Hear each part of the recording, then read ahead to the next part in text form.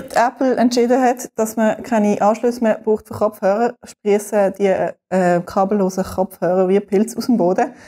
Und ich habe jetzt mal sechs ausprobiert und euch so meine persönlichen Charts mal erzählen Und, obwohl Apple da der Vorreiter ist, muss ich leider gestehen, für mich sind Apple-Kopfhörer da ausgesehen, als wären sie in einem Zahnseidenkistchen oder TikTok-Böckchen oder so.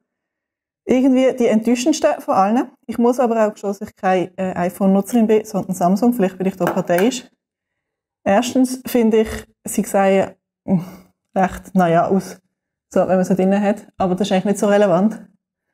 Am bezeichnendsten finde ich, dass sie die einzigen von diesen sechs, die ich getestet habe, sind, ähm, wo keine Stöpsel drauf haben, dass man sich besser ans Ohr anpassen kann. Das heisst, sie haben zwar nicht schlecht, da habe ich recht gestaunt, man kann wirklich hin und her wackeln, ähm, aber sie machen eben auch nicht ganz zu und der Sound ist so mittelmäßig. Ja.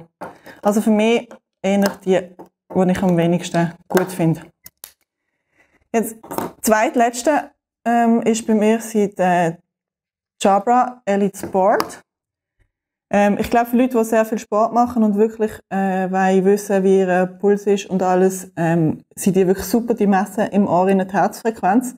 Nur ich mache nicht so wahnsinnig viel Sport. Für mich ist das nicht so wichtig.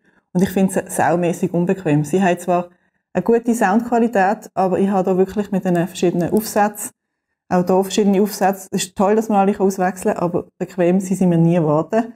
Nach ein paar Minuten muss ich die wieder abziehen. Einfach wegen dem leider auch nicht so das Wahre. Dann, ähm, sind wahrscheinlich der Bagi, der Headphone.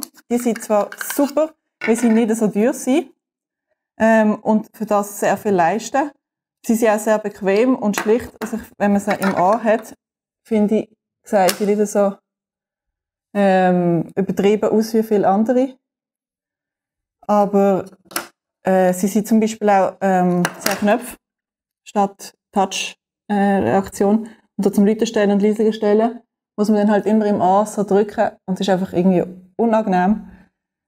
Plus, das Case ähm, hat keine Batterie drin, es ist einfach nur eine Ladestation. Andere kann man dann wirklich in der Tasche im, im Case innen laden, was ich extrem praktisch finde. Darum drittschlechteste, aber äh, guter drittletzter Platz.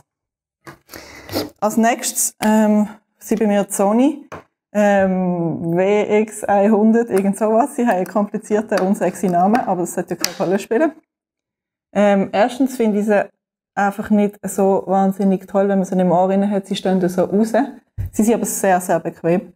Und sie sind die einzigen mit Active Noise Cancelling. Und es ist wirklich, wenn man die drin hat, hört man die Umgebung nicht mehr, wenn man das nicht will. Man kann die Umgebung aber auch zuschalten. Was toll ist, sie haben nicht schlechte Soundqualität, muss ich sagen, aber ich habe noch bessere äh, getestet. Und zu denen kommen wir jetzt. Zwar die von Bang Olufsen, BO, ähm, Beoplay E8 heißen die und Samsung Gear Icon X. Die habe ich beide sehr gern, beide sehr gute Soundqualität. Ähm, Samsung gewinnt bei mir und zwar aus einem ganz einfachen und blöden Grund.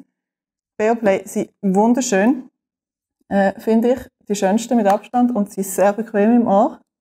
Sie haben nicht so auffällig da habe ich so verkehrt rein da. Das ist natürlich nicht so. So, sind nicht so auffällig. Und sie funktionieren über Touch. Sehr praktisch.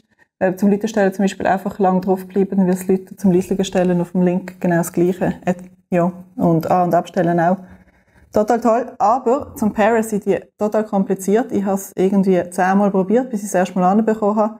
Zum die anderen testen habe ich sie wieder entkoppelt und seitdem kann ich sie nicht pairen. Und ich habe online gelesen, dass sehr viele Leute mir heim mit dem und allein wegen dem gibt es jetzt bei mir halt nur den zweitbesten Platz. Und gewonnen hat Samsung, weil die haben super Soundqualität, finde ich. Für äh, so Earbuds ist natürlich nie gleich gut wie Over-Ear, grosse Kopfhörer mit Kabel und so, aber wirklich gute Soundqualität und auch die nicht so gross auffällig und man kann sie sehr gut am Ohr bedienen, zum Leisigen machen, abstreichen, zum Leute machen, aufstreichen, an- und abstellen, telefonieren, alles kann man mit denen. Darum für mich der Gewinner.